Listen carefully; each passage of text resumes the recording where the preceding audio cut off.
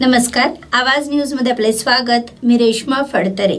चोपडा विधानसभा मतदारसंघामध्ये अनुसूचित जमातीच्या राखीव जागेसाठी लताताई चंद्रकांत सोनवणे यांनी दोन हजार अठरामध्ये निवडणूक लढवली होती. यावेळी त्या आमदार म्हणून निवडून आल्यानंतर पराभूत उमेदवार माजी आमदार जगदीशचंद्र रमेश वळवी यांनी लताताईंच्या जात प्रमाणपत्राला औरंगाबाद येथील उच्च न्यायालयात आव्हान दिले होते.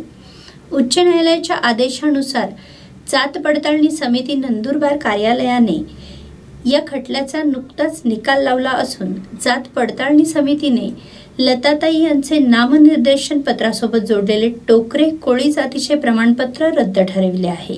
या निकालामुळे जळगाव जिल्ह्याच्या राजकीय क्षेत्रात प्रचंड खळबळ माजली आहे. अधिक माहितीसाठी सबस्क्राईब करा आवाज न्यूज व बेल आयकॉन प्रेस करायला विसरू नका. धन्यवाद.